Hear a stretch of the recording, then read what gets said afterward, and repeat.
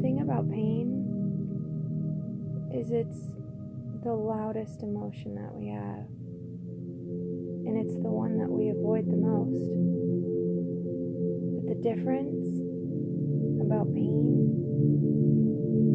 is it demands to be felt now. And when we live in a society that is so against any type of negative emotion, we make an enemy of our pain.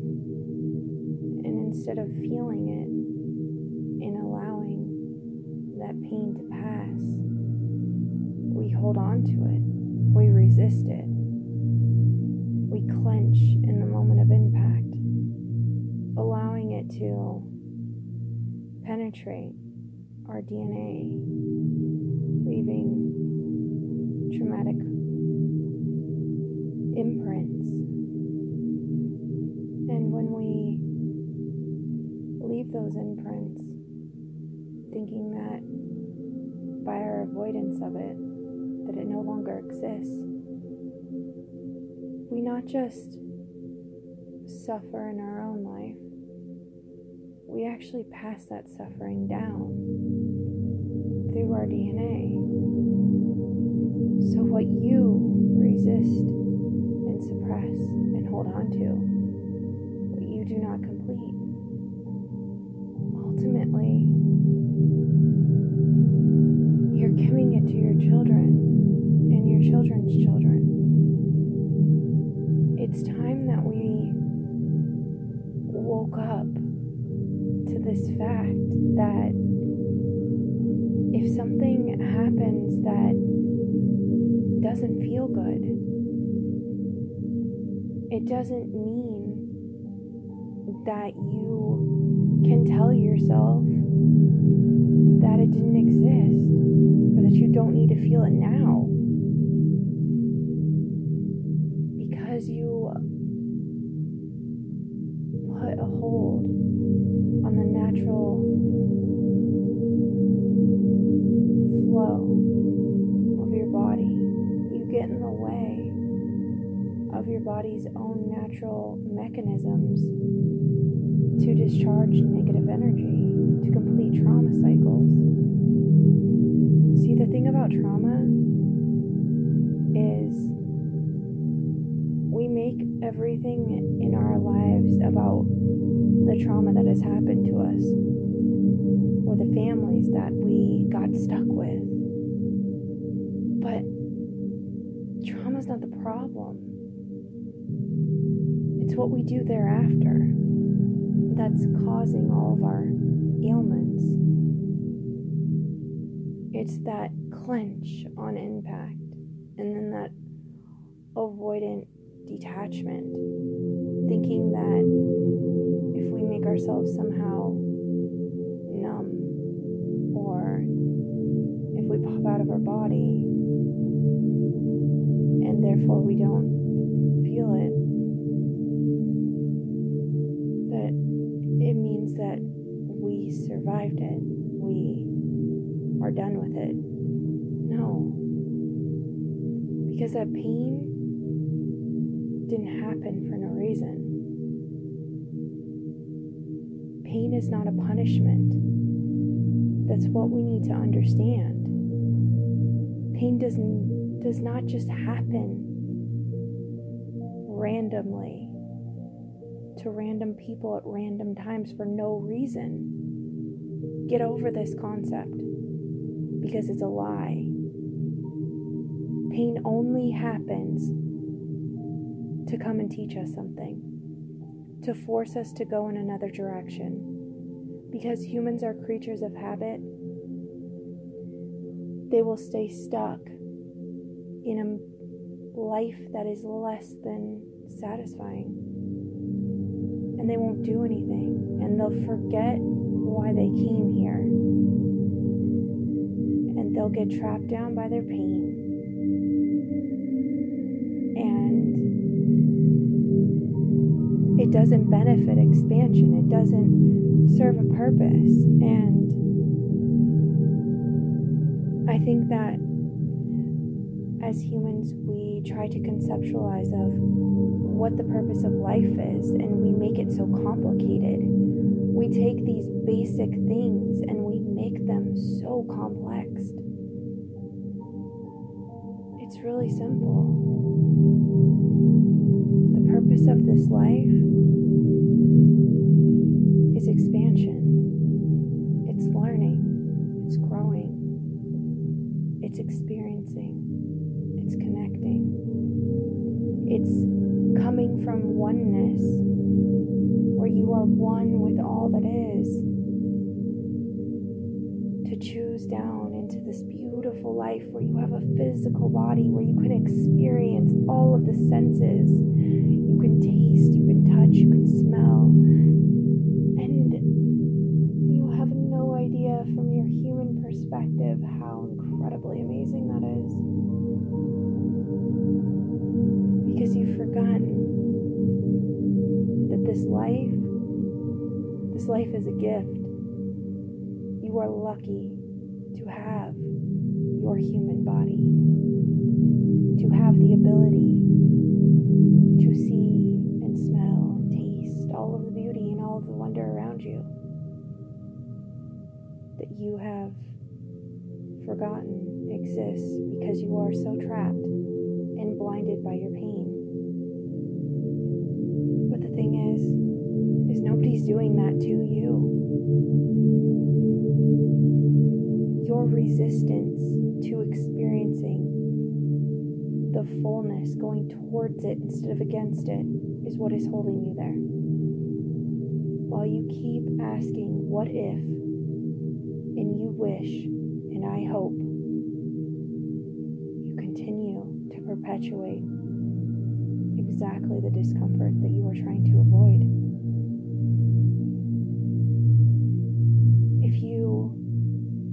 For a moment, put your ego and your fear aside,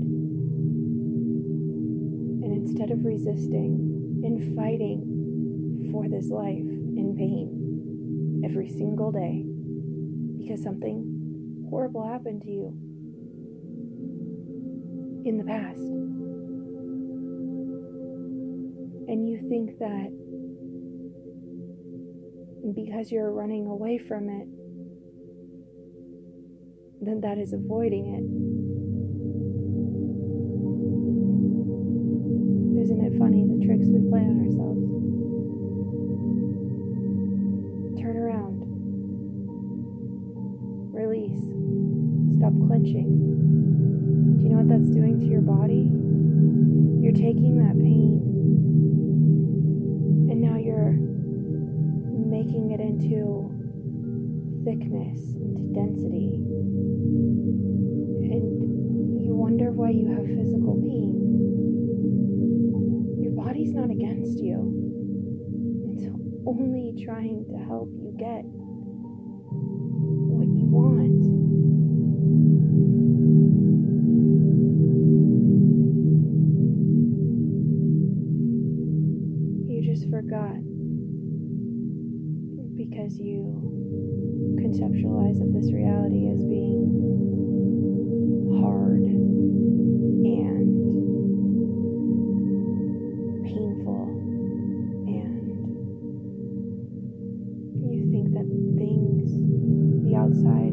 against you when the outside is you. It's merely a reflection. Because you forgot your divinity. You forgot that we are all one. And that this life is an experience. And that the only reason why we have these separate bodies is for you to experience a perception of reality that is different than mine. And by that difference of perception, we come together and we see the whole. But by staying stuck in our pain, not able to see the ground below us, anything in front of our feet, you will stay stuck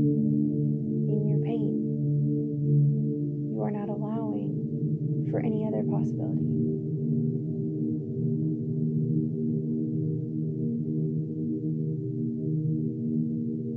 It's not about making things complicated or coming up with a magical invention that is going to cure the planet and save the world. No. It's about remembering your divinity. Remembering why you came here.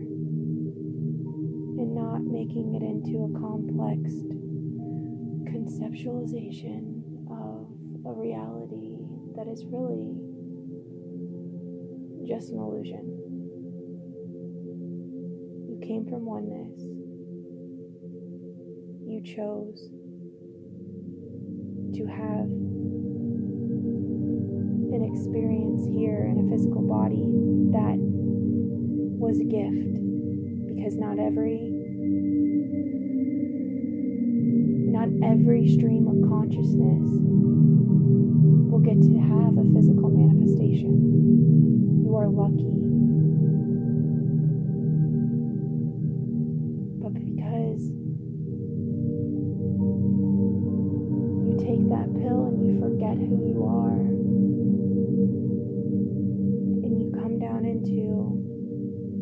Mother's womb, still feeling the oneness and connection.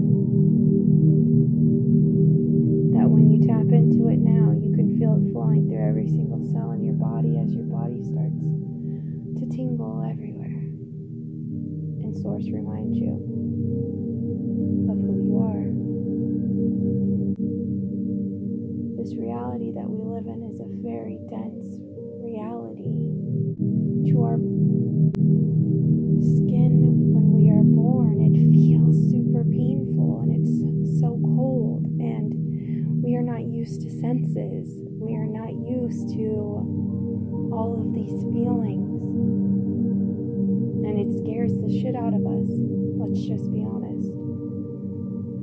And then all of a sudden, you have this illusion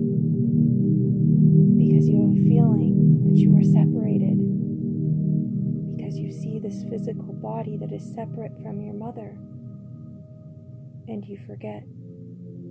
And you fear. And you buy in to the illusion. And you stay stuck in the pain that you first felt the day you were born, that scared the shit out of you, that caused you to clench and not experience what was actually happening and go through that initial feeling. Because once you go through it, once you go through it, that's when you're done with it.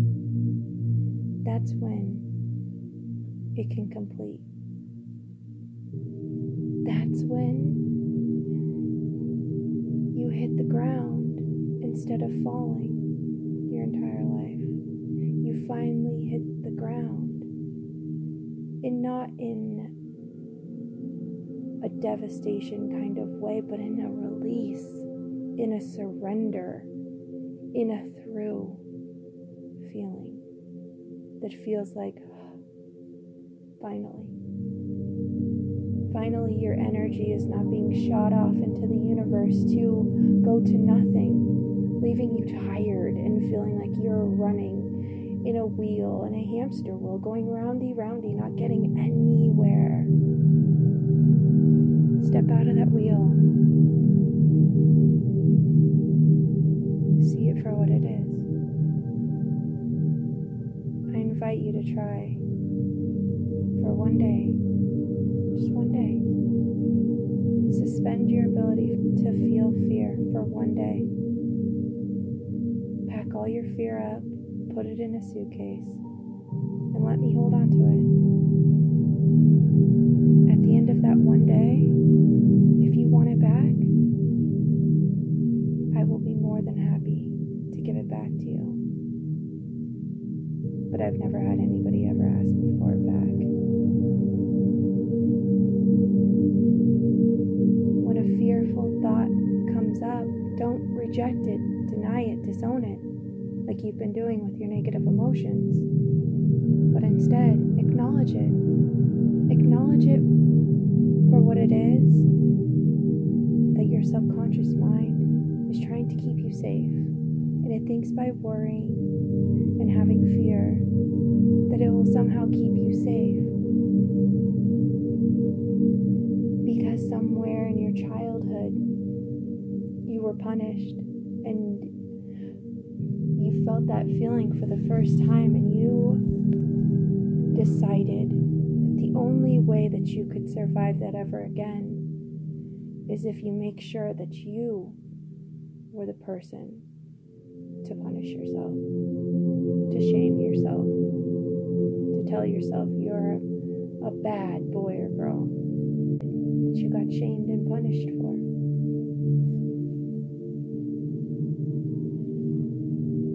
Haven't you paid a high enough price holding on to your pain?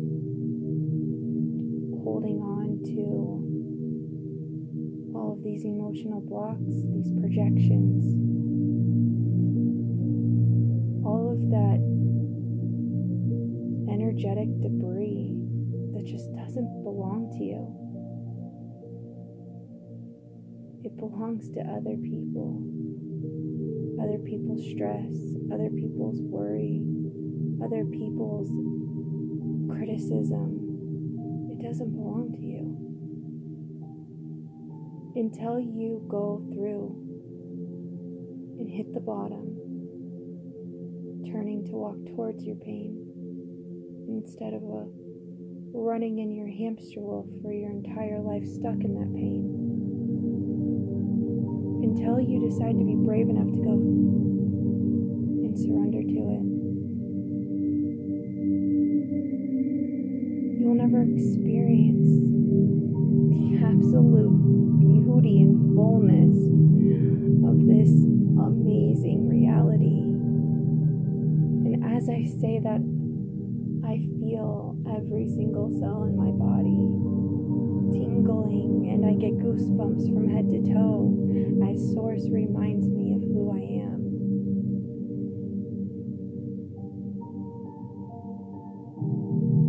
You forget how amazing it is to touch a soft blanket or to run and play in the grass, to bathe yourself in a beautiful waterfall, see all the natural beauty around you, to smell a rose. You forget how amazing it is.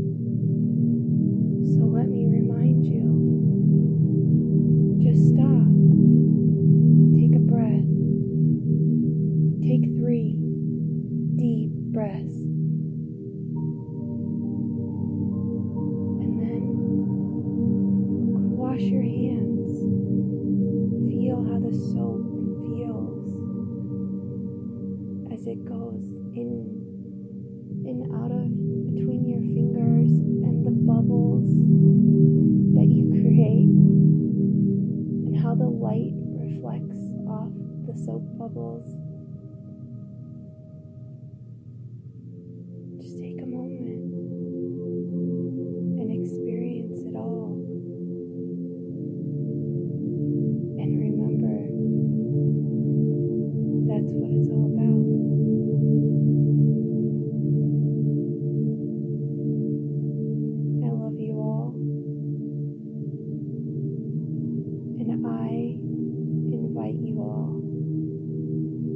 To experience the joy and the beauty and all of the sensations around you. Experience it.